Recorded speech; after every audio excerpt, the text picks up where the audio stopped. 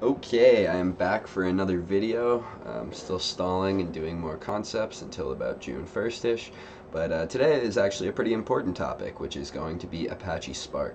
So let's go ahead and talk about that. Okay, so Spark, what is it? Spark is basically another um, open source batch processing framework that was invented by a bunch of researchers at UC Berkeley, I think around 10 years ago. It's an example of a data flow engine and it is capable of providing major performance increases over something that is a more naive implementation of batch processing like MapReduce. So let's go ahead and talk about how it's able to do this and explain all of that.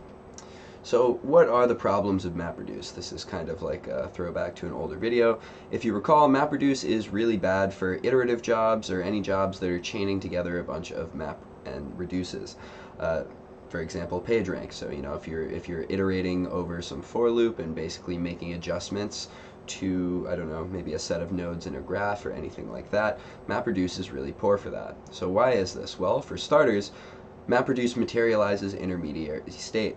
What that means is that you're doing a ton of disk reads and writes every single time that you do an actual MapReduce job because both inputs and outputs of MapReduce are all going to be written to the underlying file store, which means that you're doing tons of writes to the disk. And the truth is, the majority of the time, we don't really care about the intermediate writes, we just care about the end result. In addition to that, um, generally speaking, when we're doing MapReduce, the first time, mappers are useful. But after that, generally we only care about reducing. The thing is though that we have all these unnecessary sorts and kind of repartitions and a lot of the time it's not necessary and it just wastes a ton of computation. So Spark provides us with a lot more flexibility by just allowing you to define operators and give you a more free form, just you know, write some code and we're going to make it happen in a parallelized type of way. But let's go into some more detail. So like I mentioned, the big issue with MapReduce was uh, manifesting this intermediate state. And so what Spark chooses to do instead is implement something called RDDs, or Resilient Distributed Data Sets. So basically these are just going to be in-memory data structures where their lineage is tracked and they represent the contents of some Spark variable. So that variable is originally probably going to be gotten from HDFS or whatever the underlying data store is, and then you can do transformations on an RDD in order to go ahead and derive other RDDs. So by going and mapping out this data flow, we're able to actually get a really efficient system going where the majority of the data is actually kept in memory, assuming they can fit there, and then that way we don't have to go ahead and materialize everything. So let's talk about fault tolerance because basically what I base, uh, just said is that Spark does a bunch of computations, but it goes ahead and just keeps them in memory. And so the kind of the important thing here though is if things are being kept in memory and we're running these huge computations, aren't nodes going to be failing all the time and then losing that data? Um, so yes, nodes are going to be failing all the time and losing data, but Spark kind of uses um, these dependencies or the the graph of lineages for each RDD in order to kind of make good decisions about fault tolerance and how to handle things. So generally speaking, what Spark tends to do is instead of storing all of the computation at every single step in a persistent manner, it stores computation sometimes and then goes ahead and recomputes it when need be. So let's look at two situations basically of failures where Spark has to go ahead and recompute data. So the first one is called a narrow dependency. So imagine we have these three nodes right here, and the first thing that I'm going to do is basically just a map job. We've got all this data for uh, browser history partitioned by the date that it actually happened, and the only thing I'm first going to do is go ahead and map that browser data from uh, you know URL date tuple to just the URL. So that's just going to be called a narrow dependency. The reason for this is that there's no inter-node uh, communication. The node is doing all this computation locally only for the data that it's storing in its actual underlying hard drive. So now imagine if node 3 were to fail.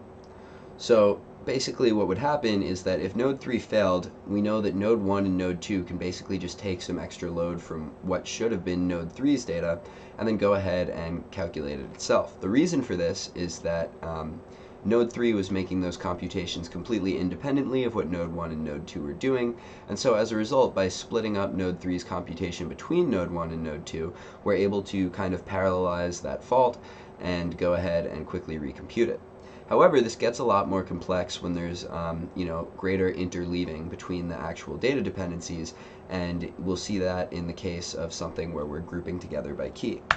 So this is known as a wide dependency. So imagine instead of just taking all of these URLs together and um, you know removing the dates from them, that in addition we did something where we grouped by key and put every you know unique key on a single node.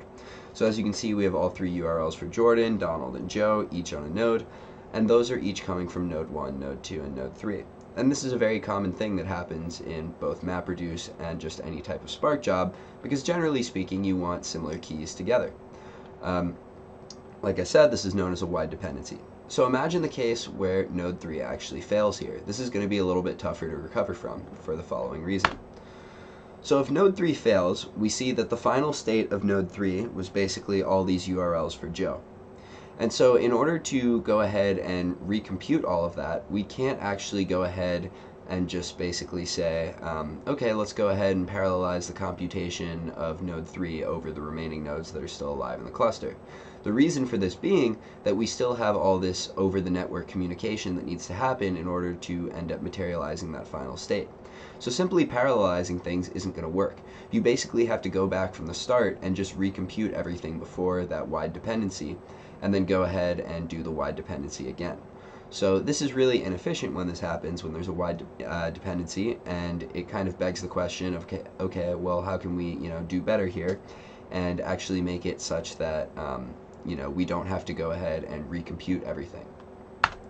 Well, the answer to this is basically checkpointing. Um, I've mentioned checkpointing in the past, but all it really does is take you know the given state of a system and go ahead and save that to some sort of persistent data, uh, data store like I don't know HDFS in this case assuming that's what you're running Spark on.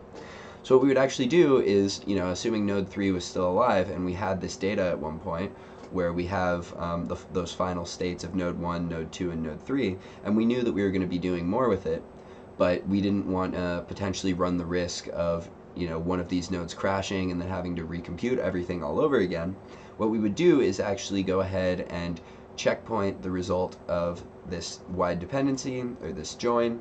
And as a result of that, if node 3 were to ever crash, we could go ahead and just access HDFS and use that checkpoint to kind of reestablish a new node that's taking over the data of what node 3 had.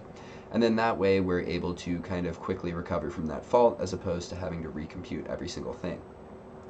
So this is kind of how Spark tends to suggest that you handle wide dependencies. And for narrow dependencies, like I mentioned, it's not really a huge deal if one node fails because you can go ahead and parallelize all that computation over the other nodes. But generally speaking, for handling wide dependencies, you want to be checkpointing. Okay, so in conclusion, basically Spark is able to provide huge performance gains over MapReduce by declining to materialize intermediate state every single time there's an operation. And by doing so, there are some slight trade-offs in the sense that Spark is going to be more expensive by making you use more RAM because you're storing all these RDDs in memory. And in addition, there is going to be slightly worse fault tolerance. Recall that MapReduce was kind of actually built to be super fault tolerant because Google was constantly preempting those jobs.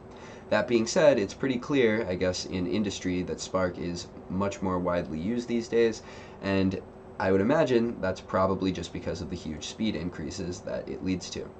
So as a result, guys, I hope you understand now a little bit more about these data flow engines and kind of the motivation behind using Spark over something like MapReduce.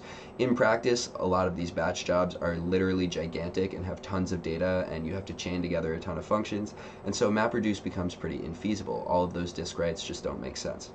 Okay, so I hope you guys enjoyed this video. I'll be uh, hopefully doing another one tomorrow.